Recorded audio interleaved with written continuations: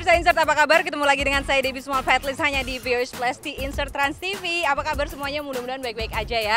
Kali ini beritanya adalah mengenai Kim Kardashian yang ternyata otak bisnisnya tuh jalan banget ya. Udah punya fashion line sendiri, punya parfum sendiri dan sekarang ia baru-baru ini meluncurkan koleksi perhiasannya sendiri. Memangnya kalau jadi pengantin baru itu butuh dana banyak untuk membentuk keluarga baru. Nah pemirsa Insert ini dia liputan launching perhiasan koleksi Kim Kardashian. Kardashian tersenyum lebar saat mempersiapkan diri memamerkan bisnis bling-blingnya dengan meluncurkan koleksinya yang bermerek Belle Noir Jewelry di New York City. Diadakan di department store Bloomingdale's di pusat kota New York, peluncuran ini diadakan hanya beberapa hari setelah Kim berada di Los Angeles untuk memberikan dukungan kepada adiknya Rob yang ambil bagian dalam acara televisi Dancing with the Stars. Kim membagi-bagi tanda tangan kepada ribuan fans yang mengantri ingin melihat bintang kenamaan ini.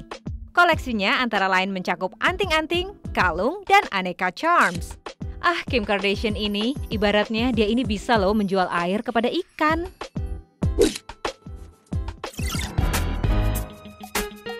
Pemirsa Insert tahu nggak apa yang pasti bakal laku kalau dijual sama Kim Kardashian? Tahu kan pakaian dalam ya, CD ya, yang belak yang ada paddingnya itu loh, yang ada berisi itu loh, yang bikin belakangan kita lebih berisi itu pasti laku kalau dijual sama Kim Kardashian.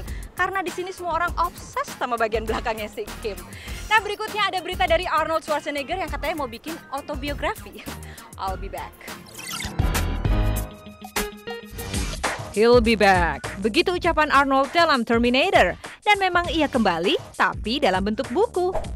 Ya betul, Arnold Schwarzenegger saat ini sedang menulis autobiografi. Walaupun gak semuanya akan diungkapkan, tetapi menurut majalah People, mantan gubernur California ini akan menulis tentang perpisahannya baru-baru ini dari sang istri, juga tentang masa kanak-kanaknya di Austria, dan karirnya sebagai atlet binaraga, bintang film action, dan politisi.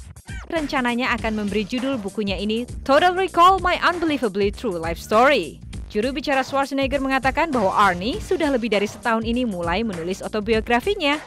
Ia tidak ingin melakukan proyek pribadinya ini saat masih menjabat sebagai gubernur. Sebelum selesai pemirsa insert, kita balik lagi ke Kim Kardashian ini ya. Dia mengaku katanya tidak suka pakai perhiasan kalau ke gym. Jangan solo maintenance deh Kim Kardashian walaupun nggak pakai perhiasan tapi kan tetap kan eyeliner sama bulu mata palsu kan.